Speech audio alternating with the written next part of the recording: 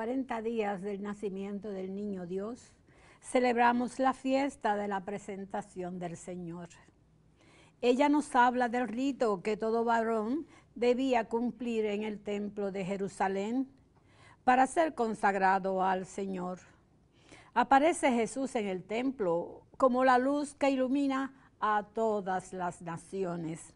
Hoy, ante todo, es una fiesta del Señor, aunque es la Virgen María la que lleva en sus manos la luz del mundo, que es Cristo. Ella fue la que dio a luz a la luz del mundo. Alegrémonos hoy con esta fiesta y agradezcamos a Dios que nos ha permitido venir a celebrar este gran acontecimiento. De pie para recibir a los ministros y gozosos cantamos.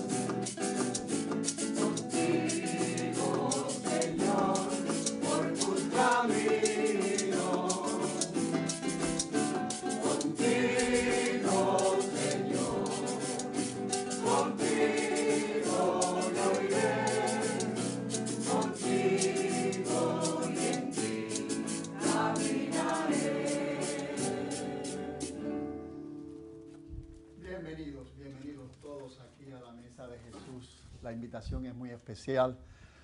Especialmente saludo a los que nos están viendo por televisión, tal vez desde sus camas porque están enfermos o desde su hogar porque no pueden salir.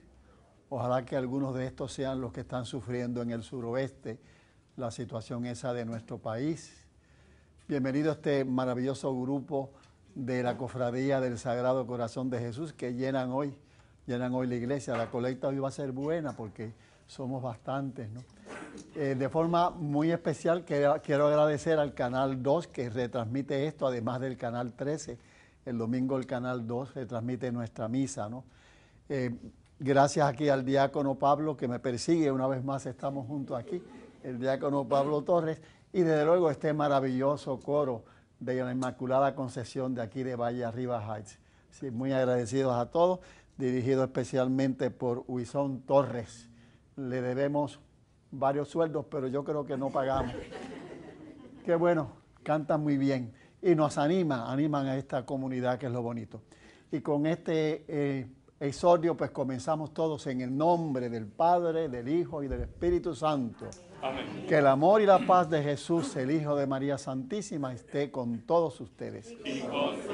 Nos acercamos al Padre y tomamos conciencia de nuestra fragilidad, nuestras ignorancias, nuestros pecados. Por eso comencemos suplicando perdón divino con el canto de este grupo.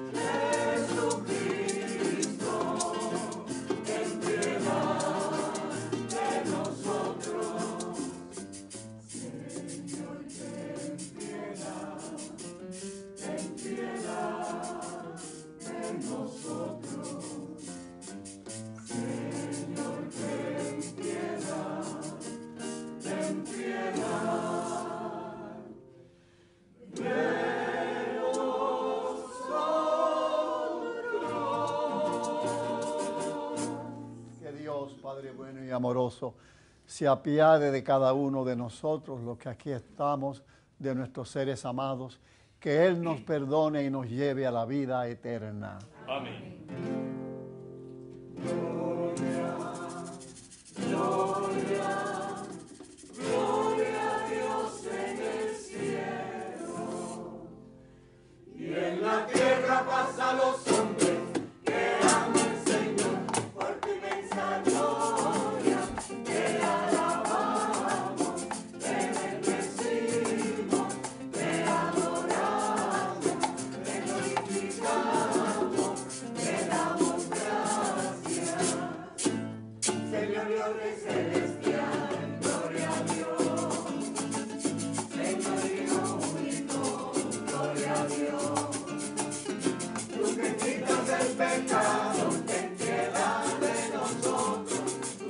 Dios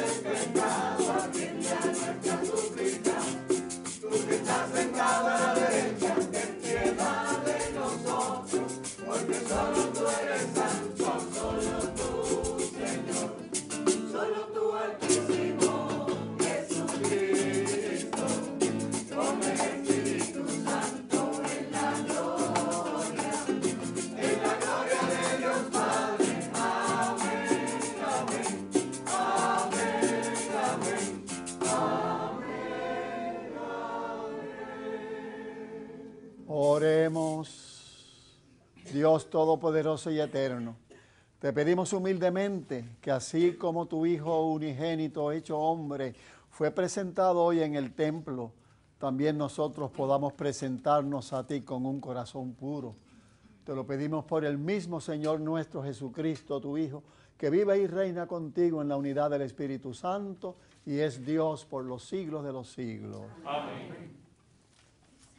El profeta Malaquías nos ofrece un texto donde un mensajero, Dios mismo, se presenta a Jesús. En Jesús se realiza el juicio purificador anunciado. Toda la esperanza de salvación se ha cumplido. Escuchemos.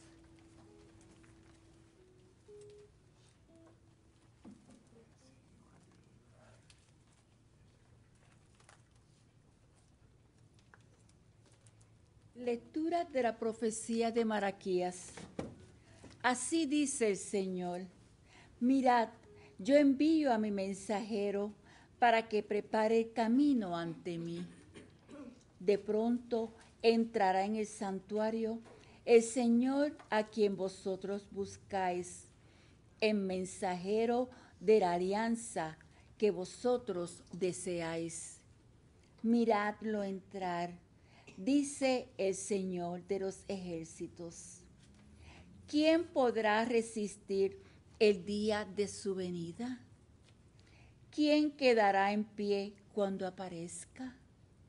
Será un fuego de fundidor, una lejía de lavandero. Se sentará como un fundidor que refina la plata, como a plata y a oro, refinará a los hijos de Leví y presentarán al Señor la ofrenda como es debido.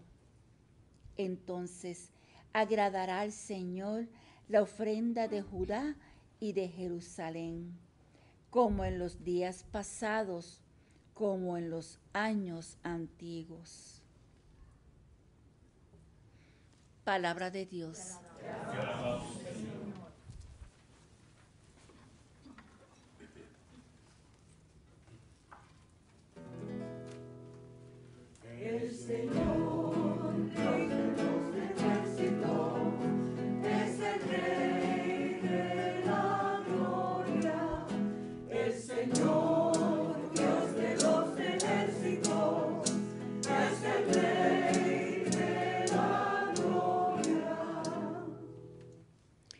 Portones, alzad los dinteles, que se alcen las antiguas compuertas, vean el Rey de la Gloria. El Señor, Dios de los ejércitos, es el Rey de la Gloria. ¿Quién es el Rey de la Gloria? El Señor, héroe valeroso el Señor, héroe de la guerra.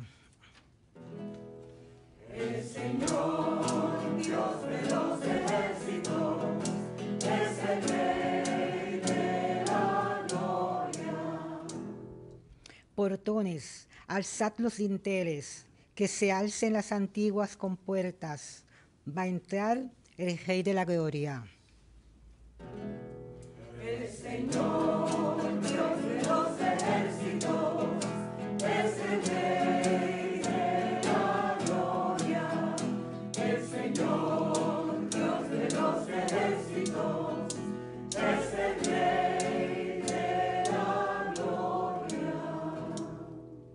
¿Quién es ese Rey de la Gloria? El Señor, Dios de los ejércitos. Él es el Rey de la Gloria. El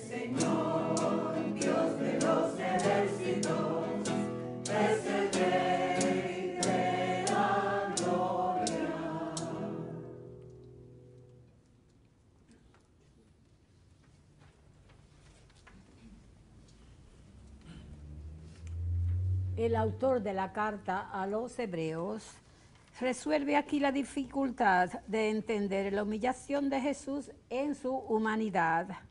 Cristo es superior a los ángeles, pues la redención no es obra de los ángeles, sino de Él.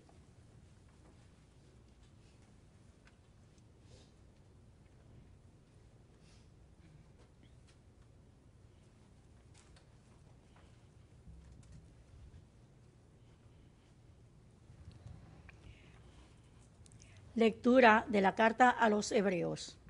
Los hijos de una familia son todos de la misma carne y sangre, y de nuestra carne y sangre participó también Jesús. Así, muriendo, aniquiló al que tenía el poder de la muerte, es decir, al diablo, y liberó a todos los que por miedo a la muerte pasaban a la vida entera como esclavos. Notad que tiende una mano a los hijos de Abraham, no a los ángeles. Por eso tenía que parecerse en todo a sus hermanos, para ser sumo sacerdote compasivo y fiel en lo que a Dios se refiere y expiar así los pecados del pueblo. Como Él ha pasado por la prueba del dolor, puede auxiliar a los que ahora pasan por ella. Palabra de Dios. Te alabamos, Señor.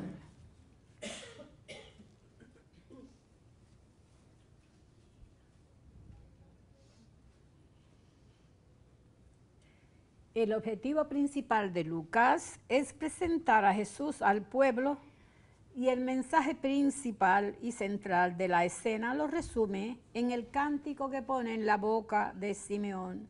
Jesús es el Salvador. Escuchemos la lectura evangélica, antes cantemos el aleluya.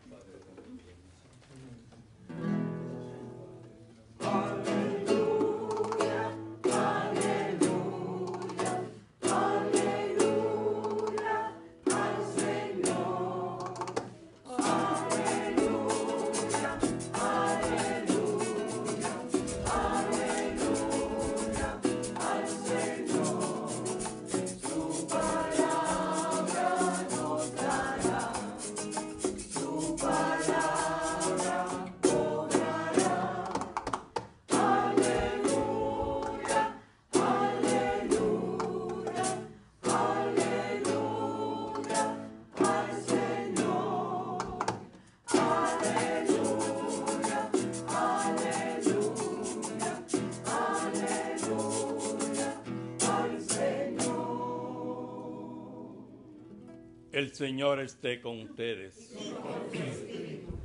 Evangelio de nuestro Señor Jesucristo según San Lucas.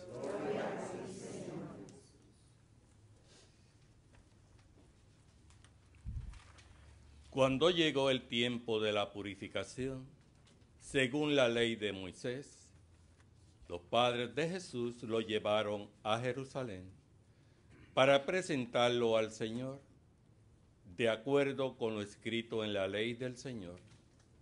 Todo primogénito varón será consagrado al Señor y para entregar la oblación, como dice la ley del Señor, un par de tórtolas o dos pichones. Vivía entonces en Jerusalén un hombre llamado Simeón, hombre justo y piadoso, que aguardaba el consuelo de Israel, y el Espíritu Santo moraba en él. Había recibido un oráculo del Espíritu Santo, que no vería la muerte antes de ver al Mesías del Señor.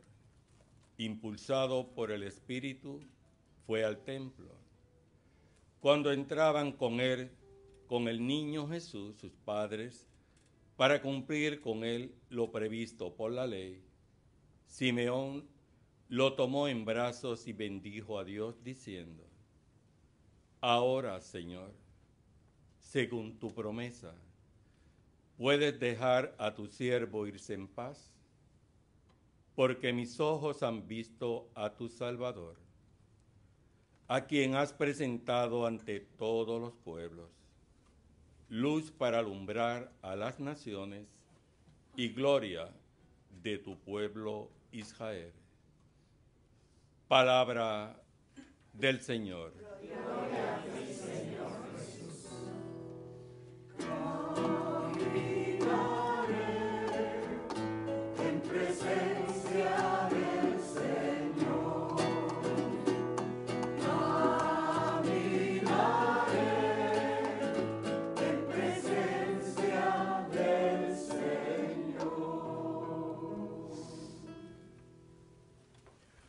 2 de febrero. En nuestra tradición, la Virgen de la Candelaria, en que hacían las fogatas. Recuerdo que era cuando quemaban los árboles de Navidad. No se puede hacer ahora porque los bomberos nos caen encima. Es la Virgen de la Candelaria porque en el texto que vamos ahora a considerar se presenta a Jesús como la luz, la luz del mundo. Y entonces recordando ese hecho, ese símbolo de Jesús como luz del mundo, pues se solía hacer, se hace todavía, aquí no lo vamos a hacer ahora, pero se hace la procesión de las candelas, un poquito recuerdo de la famosa procesión, la magna, la de la vigilia pascual, cuando detrás del Cristo, que es el cirio bien grande, vamos todos detrás diciéndole al mundo que hay luz, que es una de las cosas bonitas que tenemos que considerar en las palabras mías de hoy. ¿no? Esta Sagrada Familia, que es una familia devota, pues tiene que cumplir con las leyes, las leyes eclesiásticas de su momento, la ley de los judíos, que decía que cuando una mujer daba luz, pues primero tenía que purificarse, porque supuestamente eso, es- eso del parto eh, deja impura a la mujer, había sangre, ¿no? Nosotros hoy en día creemos que no es así. Es un día maravilloso cuando puede haber un parto, sobre todo un parto feliz, que tanta falta nos hacen en el país porque nos estamos quedando con familias que no tienen hijos, qué lío, ¿no? Y entonces, pues nada, la mujer quedaba impura. ¿Cómo la Santísima Virgen va a quedar impura? O sea que no, no le tocaba la ley, si esa era la razón de la ley. Y se supone que entonces el niño, el varón, el varoncito, el primer varoncito de una familia, había que dárselo a Dios, porque el varón es la perfección de la humanidad, ser macho, ser varón. La- las mujeres de aquí yo creo que no están de acuerdo conmigo ni con los judíos, pero para ellos eso era lo mejor. Y a Dios, qué bonito, hay que entregarle lo mejor. Y por eso el primer deseo de una familia que es tener hijos cuando se daba en un varón, ese es de Dios, ese es de Dios. Lo bueno es para Dios. Qué lección tan bonita. Vamos a hablar enseguida de esto cuando llegue el momento, ¿no? Así que ellos van a cumplir una ley que no les toca porque el objeto de la ley no cae en ellos. Ya Jesús está consagrado al Padre si es el Hijo bendito del Padre. Es Dios como el Padre y el Espíritu Santo. Pero van allí en esa humildad. En este acto ritual había que ofrecer una ofrenda para rescatar al niño. Como el niño pertenecía al templo y no se quedaba, porque si no los sacerdotes tendrían que, imagínate, cuidar a millones de niños, pues entonces los rescataban dando un sacrificio, dando un quid pro quo, ya que no se quede el nene, déjame algo. Bueno, y lo que dejaban era una ofrenda de un sacrificio. Los pobres, y esta es la familia nuestra, lo que llevaban eran dos pichones, dos pichones. Los que tenían más dinero, los que están en Montelledra por ahí, pues llevaban entonces un corderito y cositas de esas, ¿no? Qué bonito. Oye, nos recuerda una cosa, que las leyes, aunque a lo mejor no nos toquen directamente, siempre hay que acatarlas con obediencia. Uno tiene que ser obediente también a la ley civil, no solamente a nuestras leyes de nuestra comunidad católica, que tenemos leyes en lo que se llama el derecho canónico. Así que las leyes hay que cumplir, a no ser que haya unas leyes, y a veces las hay, que van contra tu conciencia, y entonces uno tiene que observar lo que se llama la desobediencia civil, que es un concepto no solamente político, se, aplica en la política y se ha aplicado, sino que en el mismo libro de los Hechos de los Apóstoles, cuando el Sanedrín dice, les prohibimos hablar en nombre de Jesús, Pedro dice, lo siento, esa ley no la podemos cumplir, porque nuestra obligación es hablar en el nombre de Jesús. Entonces tenemos esta fiesta con un simbolismo grandísimo. Los viejitos de entonces estaban tristes porque el templo que se había hecho no llegaba al de Salomón. El de Salomón sí que era, ese era buen templo. Este es flojón. Después del terremoto hicieron un templo, pero no es el mismo de antes, ¿no? Yo recuerdo una viejita cubana que decía, las manzanas de aquí no son como las de La Habana. Esas sí que eran buenas, las manzanas de La Habana. La pobre no sabía que las manzanas vienen de Washington State, no son de La Habana. Pero bueno, los viejitos estaban un poquito tristes por eso. Y entonces Malaquías, Malaquías les dice, mira, lo principal no son las paredes. Lo principal es que aquí, en este lugar que hemos determinado para oración especial a Dios, vendrá Dios mismo, viene el mensajero de la paz. Claro, Malaquías lo presenta como que viene con el machete en la mano, acabando con todo lo malo, que no nos mandría mal si viniese un momentito aquí a Puerto Rico, que, no deje una semanita. Eso lo hizo el Bautista, porque el, lo que predicaba el Bautista era más bien una predicación de purificación para aceptar al Mesías. Pero lo bonito es que este templo, estas paredes contemplarán al Dios hecho carne, que es lo que presenta la segunda lectura. La segunda lectura presenta a Jesús ¿eh? como ofreciéndose al Padre, haciéndose parte de esta humanidad, para, metido dentro de esta humanidad, elevar la humanidad, espiar por lo que nosotros no podemos espiar, según dice la carta a los hebreos, que es una carta bien bonita. Pero bueno, vamos entonces aquí a lo que sería el objeto de meditación de hoy. Jesús va al templo va al templo como niño, entra allí, ¿no? Lo grande de los templos es que está Dios. Qué pena me da a mí cuando ustedes habrán ido en Europa, ¿no? Qué pena Europa que está medio descristianizada. Hay grandes templos, unos templos maravillosos, vacíos de gente. Lo que tienen son turistas. Cuando el templo, lo que lo hace templo grande, sea precioso o sea feísimo, es que allí está el Señor. Allí está el Señor en la Eucaristía, en el Santísimo Sacramento. Esa es la verdadera grandeza de un templo, aunque sea pobre externamente. El Señor va allí y entonces hay dos palabritas claves que son como la enseñanza para todos nosotros en el día de hoy. Va a ser un día de atención a la ofrenda. Ante Dios nos presentamos en ofrenda. Dios es el soberano. Ante Dios bajan todas las cabezas ante Dios le entregamos lo que tenemos. Y por eso el niño, el niño, los varones, las familias piadosas, entregaban lo mejor de su familia, que era su hijo, y después lo rescataban. Pero el Hijo de Dios, el Hijo de María Santísima, se va a entregar y no tendrá rescate, porque va a ser plenamente del Padre y de todos nosotros, espiando los pecados, como decía la segunda lectura de hoy, la carta a los hebreos. La actitud ante el Señor es de ofrenda, de decir, aquí estoy. Curiosamente hay un salmo que dice, no quisiste holocaustos y sacrificios, pero me diste un cuerpo. Y aquí estoy, Señor, para hacer tu voluntad. Qué bonito. El niño, cuando todavía es niño, porque no tiene conciencia como niño que es, sin embargo va en brazos de su Madre Santísima y de San José para decirle al Padre, comencé la misión. Va a ser dura, va a ser dura, esto, es, esto es dificilísimo, pero aquí estoy para hacer tu voluntad. Esa es la mejor oración de un creyente. Muchas veces vamos a donde Dios a pedirle con una lista de pedidos, como iríamos ante la alcaldesa a pedirle cosas. No, ante Dios yo vengo a reconocerle como grande. Aquí estoy para hacer tu voluntad. Qué bonito final de los ejercicios espirituales de San Ignacio, cuando tú te, te enamoraste de la persona de Jesús, cuando tú te diste cuenta de las maravillas que Él te ha dado, porque somos maravillosos, Él me ama inmensamente, entonces, ¿qué brota del corazón noble que se siente amado? Toma, Señor, y recibe mi libertad, mi memoria, mi entendimiento, toda mi voluntad, todo mi haber y mi poseer, porque lo que yo tengo y poseo, tú me lo diste. Y yo lo que hago, a ti te lo devuelvo. Dame tu amor y tu gracia, que eso me basta. Así que lo mejor que podemos aprender de este paso de la vida del Señor es reconocer que nuestra vida, en último término, debe ser una continua ofrenda de lo que vamos haciendo, devolviendo lo que recibimos. Esto es como el mar, que le tiran al mar a veces porquerías y el mar con las olas las tira de nuevo para El Señor nos ha dado no nos ha dado un montón de maravillas y entonces nosotros son tuyas, Señor. Lo que me hace falta es tu amor y tu gracia, que eso me basta. El Señor entra en el templo como entraría uno de nosotros ofreciéndose al Señor para lo que venga. Yo recuerdo, alguien me contaba que en Bayamón por la mañana venía un señor que vende tripletas, de las tripletas esas, que son muy buenas para el colesterol.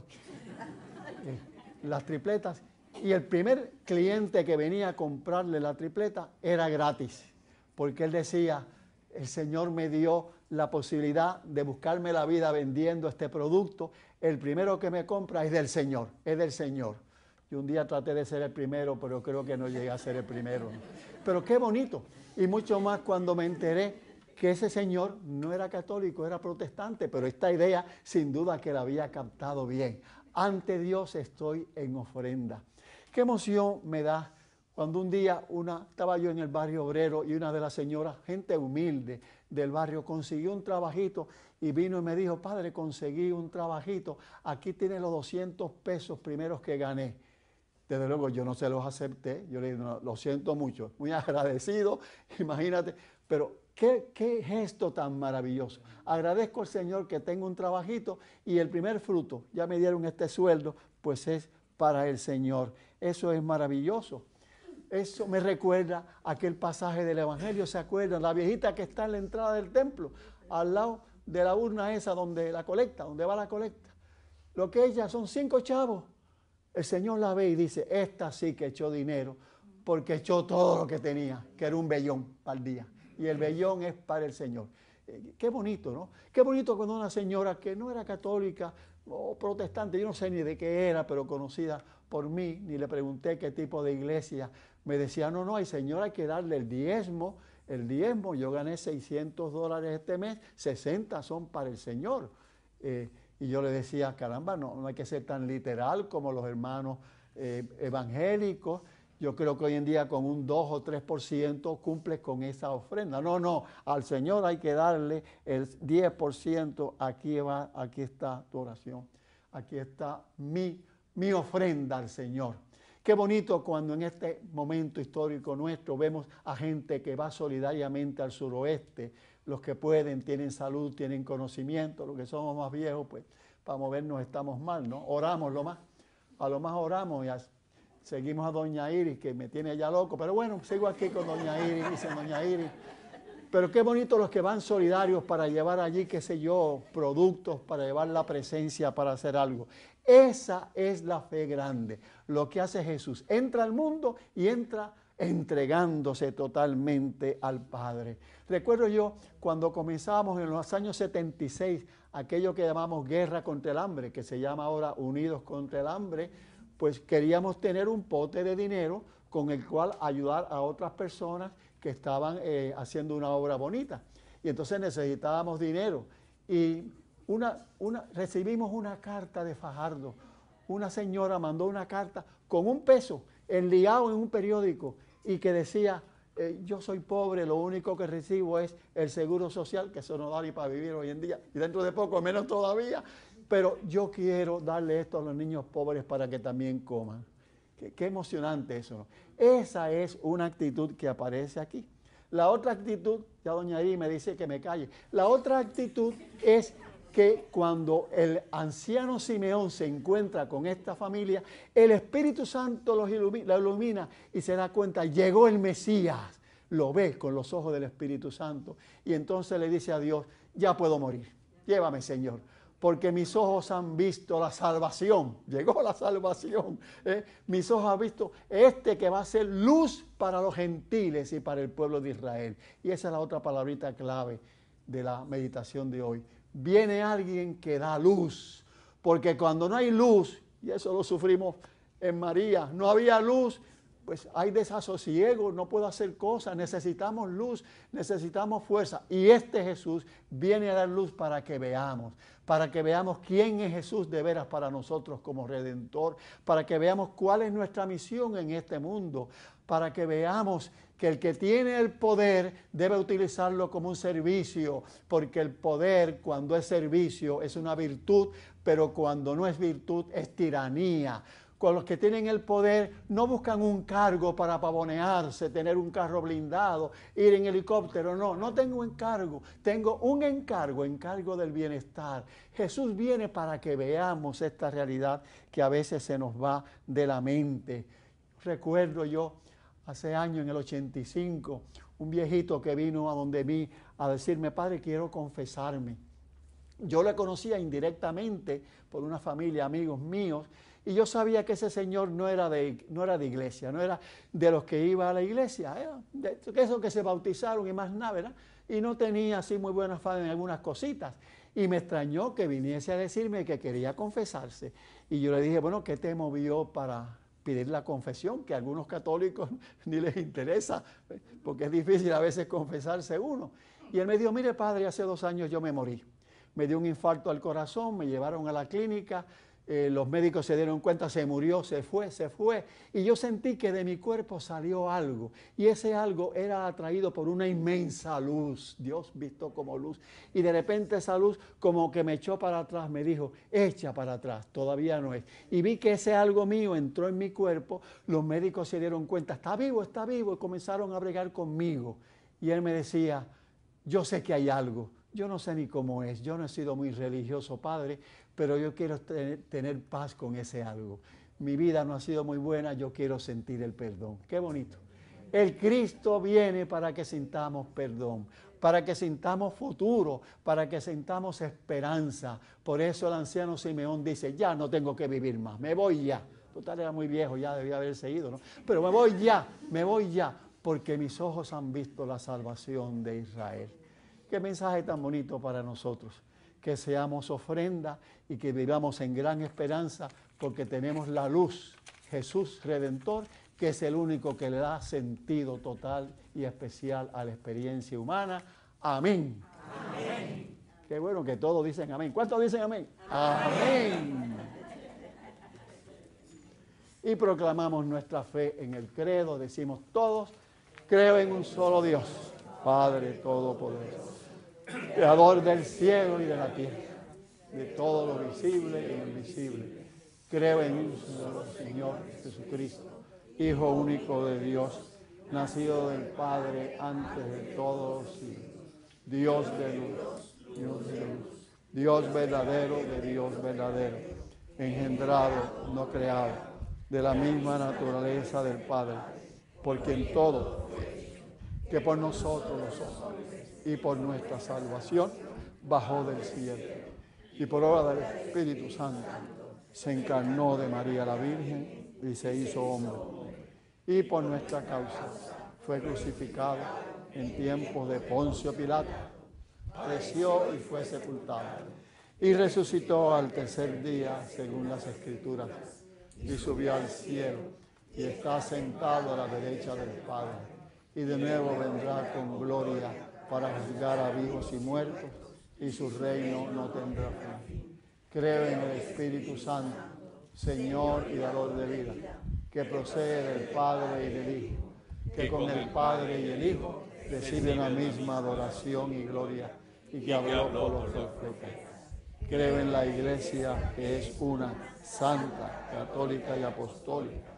Confieso que hay un solo bautismo para el perdón de los pecados Espero la resurrección de la y la vida del mundo. Y le presentamos al Señor las peticiones que hemos preparado y las que están en nuestro corazón. Responderán, Jesús, luz del mundo, óyenos. Jesús, luz del mundo, óyenos. Para que todos los miembros de la Iglesia manifiesten en su vida a Cristo, luz de las naciones, y todos los pueblos puedan alcanzar su salvación, oremos. Para que los gobernantes de las naciones y todos los funcionarios públicos sean servidores del bien común por ejercicio de la honestidad, la justicia y la solidaridad, oremos. Para que el testimonio y la fe de María, al anunciarle el justo Simeón que una espada traspasaría su corazón, sea ayuda y consuelo para los que sufren en su cuerpo o en su espíritu, oremos. Para que así como la profetisa Ana hablaba de niño a todos los que esperaban la redención de Israel, así también nosotros lo anunciemos a nuestros hermanos, oremos.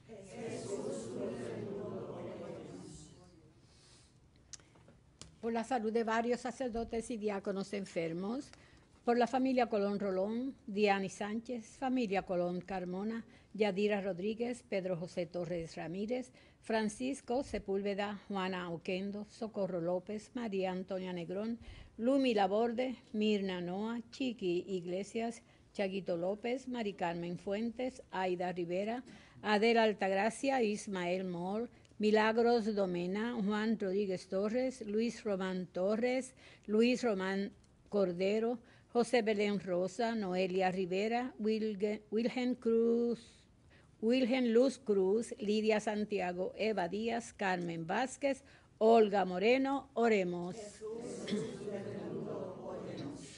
Por el eterno descanso de mi esposo Manolo, de Luis de Carmona, Luis Raúl Martínez, María Braulio Alavoy de Facio, Providencia Ramírez, Isaac Rodríguez González, Carmen Oquendo, Marizulma Díaz Román, Gerardo González Ortiz, Rodolfo Santos Rodríguez, Miguel Capó, Luis Crespo, Yuli Pérez, difuntos familia Santos Vázquez, Ángel Meléndez, difuntos familia Abreu, José M. Vázquez, Gonzalo García Cortés, María Estel Ríos, Julio Ríos, Gordiana Otero, Vilma Ramírez, Justa Encarnación, Juan A. Romero, oremos.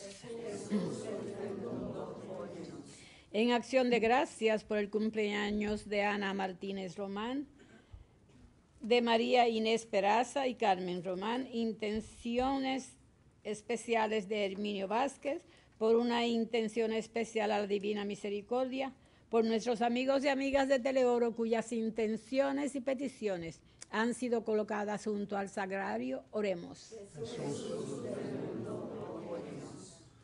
Padre Santo, presentamos las peticiones, las que llevamos en nuestro corazón, seguros de que tú nos vas a escuchar, pues pedimos a través de nuestro mediador Jesús, que contigo vive por los siglos de los siglos. Amén.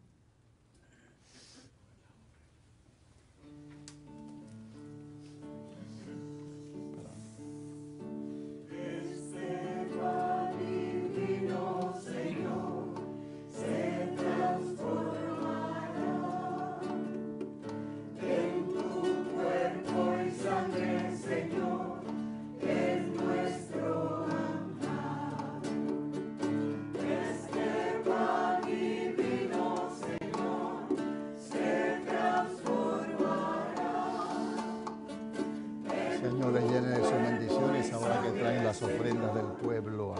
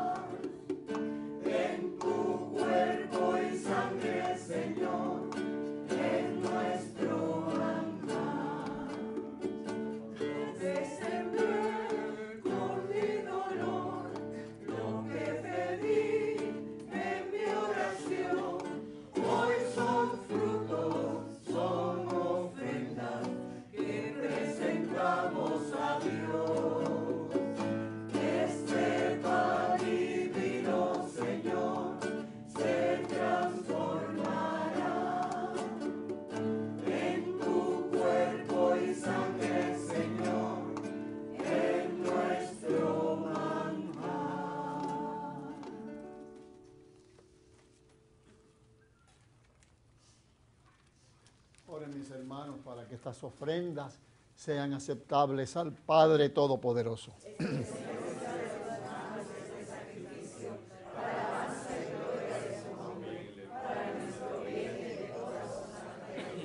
Mira con agrado, Dios nuestro, la ofrenda de tu iglesia desbordante de alegría. Tú que aceptaste el sacrificio de tu Hijo único, ofrecido como Cordero Inmaculado para la vida del mundo, por el mismo Jesucristo nuestro Señor. Amén. El Señor esté con ustedes.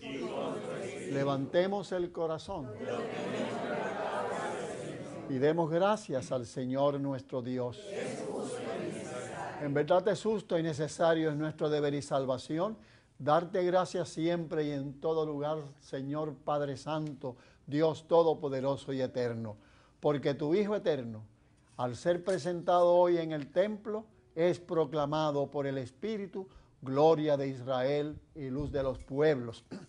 Por eso nosotros, llenos de alegría, salimos al encuentro de nuestro Salvador y junto con los ángeles y santos te alabamos cantando sin cesar.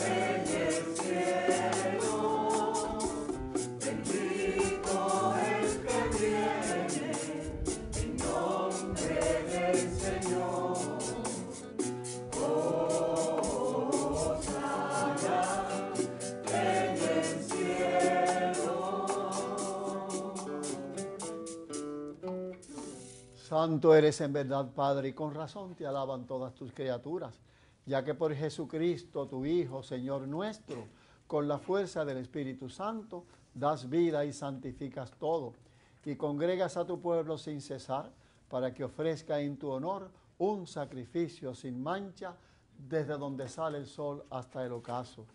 Por eso, Padre, te suplicamos que santifiques por el mismo Espíritu estos dones que hemos separado para ti de manera que se conviertan en el cuerpo y la sangre de Jesucristo, Hijo tuyo y Señor nuestro, que nos mandó celebrar estos misterios. Porque Él mismo, la noche en que iba a ser entregado, tomó pan, dando gracias, te bendijo, lo partió y lo dio a sus discípulos diciendo, tomen y coman todos de Él, porque esto es mi cuerpo, que será entregado por ustedes.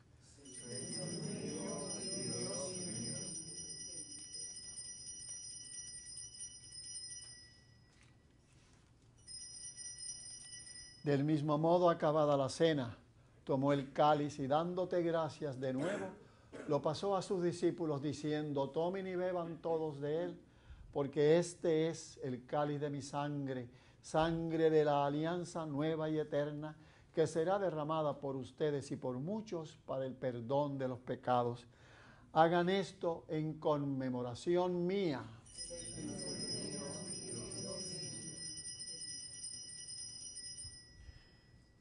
Y desde entonces este es el sacramento de nuestra fe.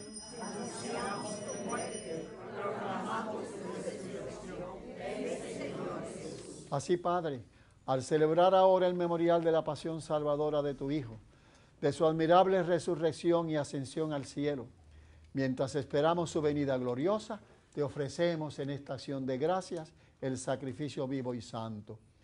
Dirige tu mirada sobre la ofrenda de tu iglesia y reconoce en ella a la víctima por cuya inmolación quisiste devolvernos tu amistad, para que fortalecidos con el cuerpo y la sangre de tu Hijo y llenos de su Espíritu Santo, formemos en Cristo un solo cuerpo y un solo espíritu. Que Él nos transforme en ofrenda permanente para que gocemos de tu heredad junto con tus elegidos, con María, la Virgen Madre de Dios y Madre nuestra, con San José su esposo, los apóstoles y los mártires y todos los santos, por cuya intercesión confiamos obtener siempre tu ayuda. Te pedimos, Padre, que esta víctima de reconciliación traiga la paz y la salvación al mundo entero. Confirma en la fe y en la caridad a tu iglesia peregrina en la tierra, a tu servidor el Papa Francisco, a nuestro obispo de San Juan Roberto, al orden episcopal, a los presbíteros y diáconos y a todo el pueblo redimido por ti. Acepta y atiende los deseos y súplicas de esta familia que has congregado hoy en tu presencia. Reúne en torno a ti, Padre misericordioso, a todos tus hijos dispersos por el mundo. A nuestros hermanos difuntos y a cuantos murieron en tu amistad, recíbelos en tu reino, donde esperamos gozar todos juntos de la plenitud eterna de tu gloria. Por Cristo, Señor nuestro, por quien concedes al mundo todos los bienes. Por Cristo con Él y en Él, a ti Dios Padre Omnipotente, en la unidad del Espíritu Santo, todo honor y toda gloria por los siglos de los siglos. Amén,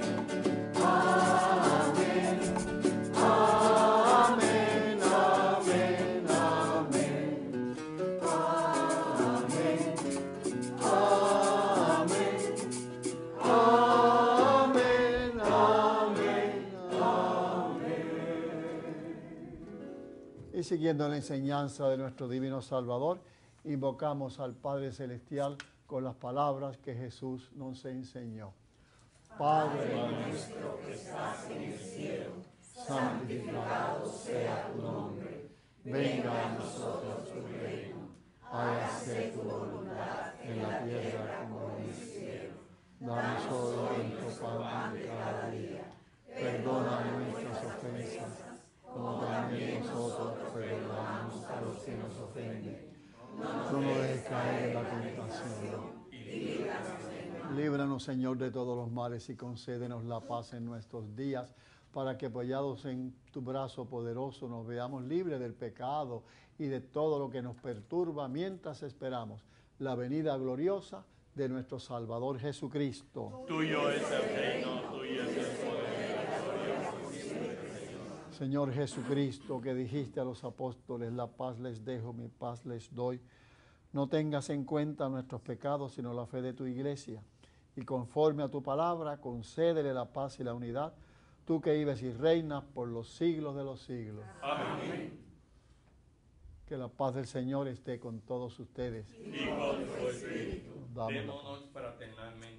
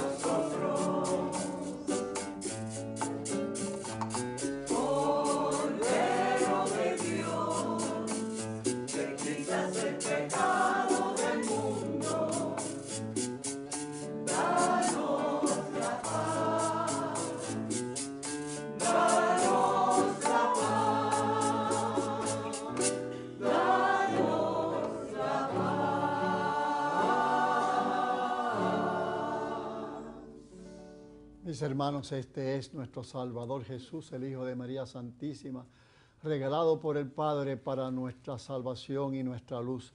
Dichosos los llamados a la cena del Señor.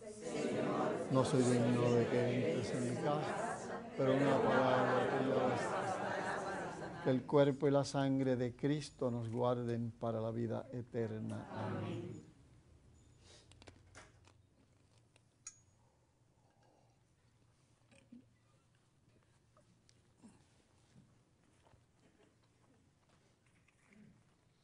Cuerpo de Cristo. sangre de Cristo. Amén.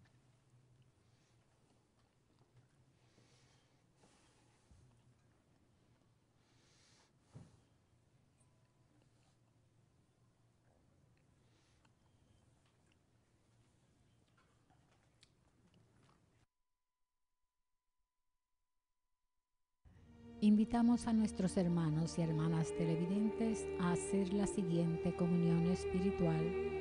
Creo, Jesús mío, que real y verdaderamente estás presente en este augusto sacramento. Y por defender esta verdad, daría gustosamente mi sangre y mi vida. Yo te amo con todo mi corazón, porque te amo me pesa haberte ofendido. Ven a mi alma, haz morada en ella. Yo te abrazo, amor mío, y me doy todo a ti. No permitas que jamás me separe de ti.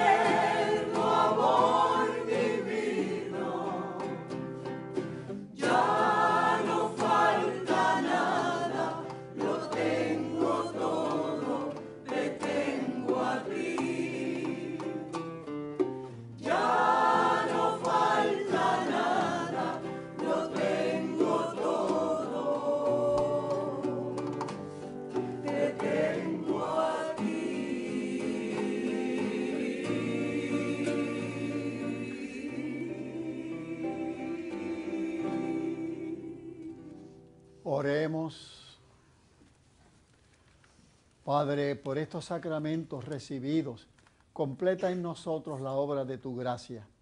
Y así como colmaste el anhelo de Simeón de contemplar al Mesías antes de morir, concédenos recibir la vida eterna saliendo al encuentro del Señor que vive y reina por los siglos de los siglos. Amén. El Señor esté con ustedes y, que la bendición del Dios Todopoderoso, que es Padre, Hijo y Espíritu Santo, descienda sobre ustedes y permanezca siempre. Amén. La alegría del Señor sea nuestra fuerza, pueden ir en paz. Gracias a Dios.